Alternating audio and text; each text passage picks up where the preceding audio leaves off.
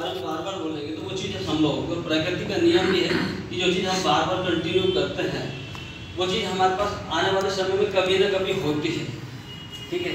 जैसे एग्ज़ाम्पल के तौर बताऊँ मैं आपको कि पावर स्पोकन वर्ड कि हमें क्या चाहिए?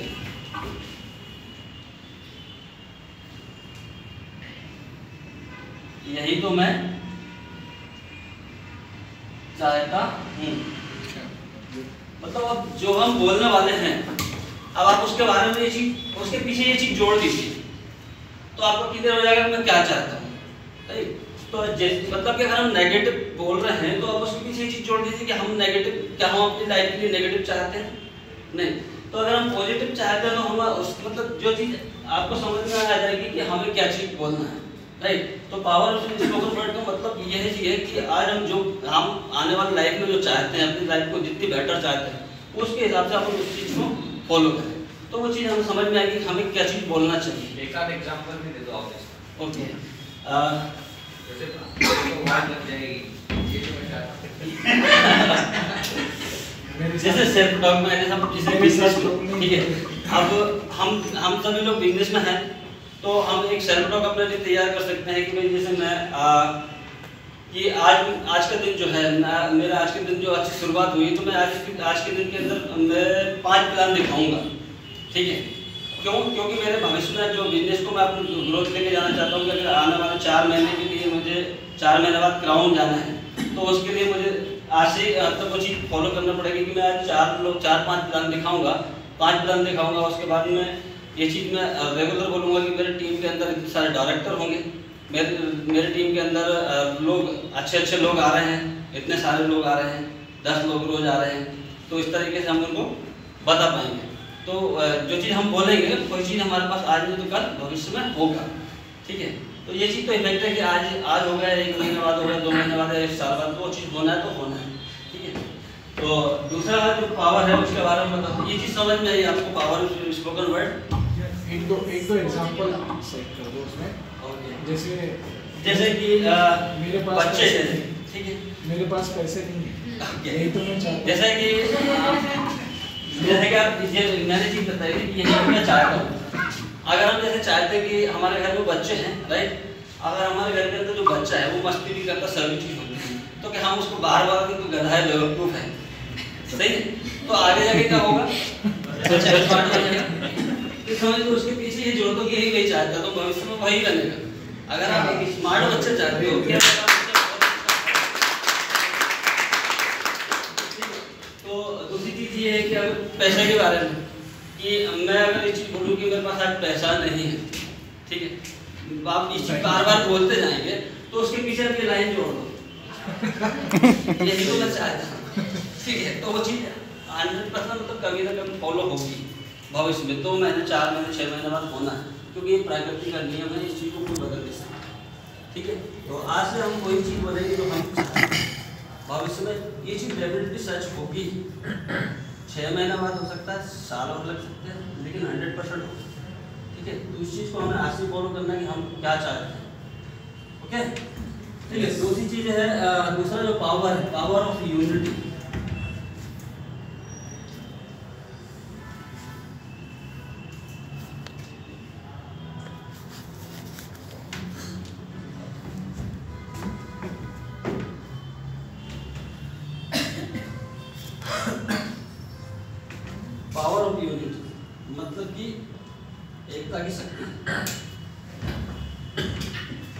जैसे आपने देखा होगा कि पावर यूनिट यूनिटी में जैसे कि पहली चीज़ तो हमारे घर से शुरू होती है यूनिटी हस्बैंड वाइफ की एक यूनिटी होती है। ठीक है? अगर मान लो कि जैसे हम लोग बिज़नेस एक बिज़नेस के अंदर हैं और हम फैमिली बिज़नेस में हैं, ठीक है? तो आज हम, हमारा काम जो है, हम अलग जाएँगे और वाइफ अलग जाएगी। तो क्या होगा? बिज़नेस दोनों तरफ़ खींचा हुआ रहेगा।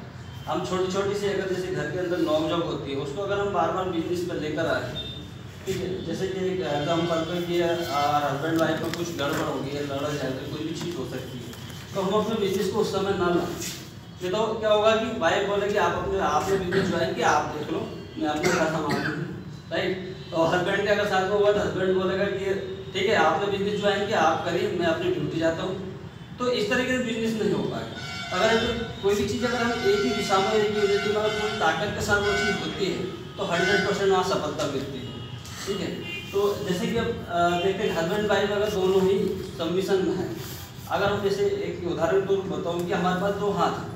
अगर हम दो हाथ से काम कर रहे हैं तो एक व्यक्ति अगर दो हाथों से, एक व्यक्ति इसके पास दो हाथ दो हाथ में पाँच प्लान दिखाता है और हस्बैंड वाइफ अगर दोनों की यूनिटी सेम मिल जाए तो वो दस प्लान भी हो सकते हैं यस तो हमारे अचीवमेंट और जल्दी जल्दी होंगे दूसरी जो यूनिटी है वो हमारे परिवार फैमिली यूनिटी इसी पावर में पावर यूनिटी के अंदर जो फ़र्स्ट है हस्बैंड वाइफ दूसरा फैमिली यूनिटी जैसे कि हमारे फैमिली के अंदर हस्बैंड वाइफ तो है, लेकिन उनके साथ साथ तो फैमिली के अंदर और भी सदस्य लोग हैं जो हमारे बच्चे हो सकते हैं माता पिता हो सकते हैं। ठीक है? अब हस्बैंड वाइफ दोनों काम कर रहे हैं एक बिज़नेस के अंदर तो बाकी फैमिली की मतलब की जो जवाबदारी, ज़िम्मेदारी है, वो भी तो इन लोगों की क्योंकि अब बच्चे हैं, बच्चे तो वो जवाबदारी नहीं उठा सकते। और माँ बाप भी बुज़ुर्ग है तो उन्होंने कुछ चीज़ कर चुके हैं जो उनको समस्या थी। तो वो तो ये चीज़ हैं बिज़नेस के बारे में नहीं जानते। तो हमें उनको इन्वॉल्व करना हमारे बिज़नेस के अंदर। कि भाई आप उनसे पूछें उनके साथ बैठें कि आपकी ड्रीम्स क्या है? आप चाहते क्या हैं? आप सपने क्या हैं? जब अगर पूरी फैमिली की जो एक यूनिटी बन जाएगी तो हम वो चीज़ में दिशा में बहुत जल्दी पहुँच पाएँगे। कैसे कि अगर बच्चे हैं, और माता पिता अगर हम उनके सपनों, उनको ड्रीम्स को इन्वॉल्व किया है तो हमें अप्रिशिएट करेंगे। हमें मोटिवेट करेंगे घर से बाहर निकलने के लिए, हम काम करने के लिए और तेज़ी से काम कर पाएँगे।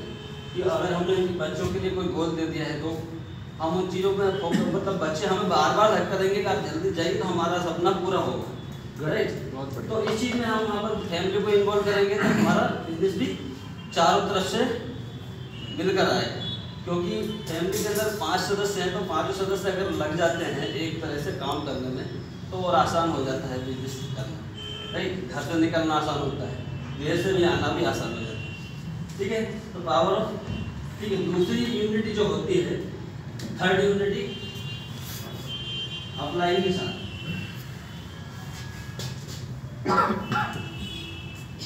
अप्लाई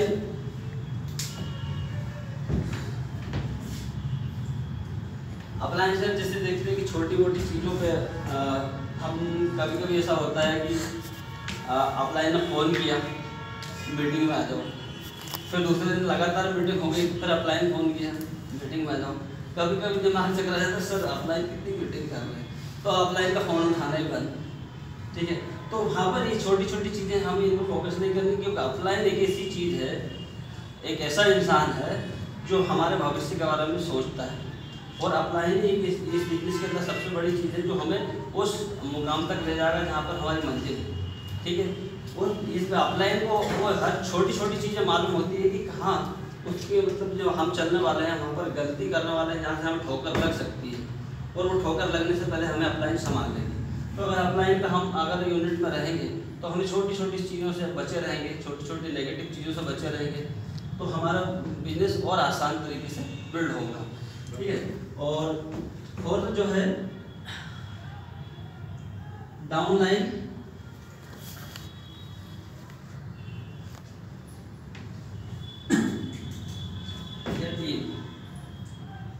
टीम के साथ भी यूनिटी डाउनलाइन और टीम के साथ चीज़ करना है कि अगर हमारी टीम है डाउनलाइन है, उनके हमें अच्छाइयाँ ढूंढनी है।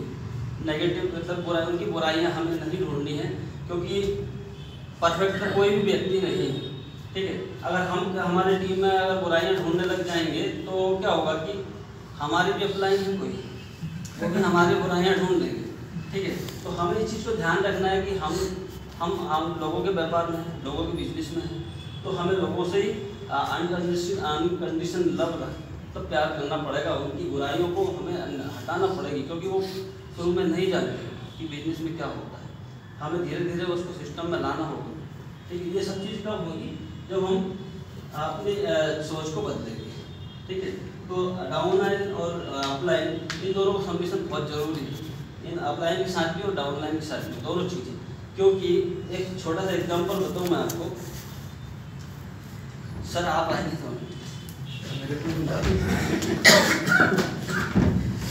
अब जैसे, अब ये देखो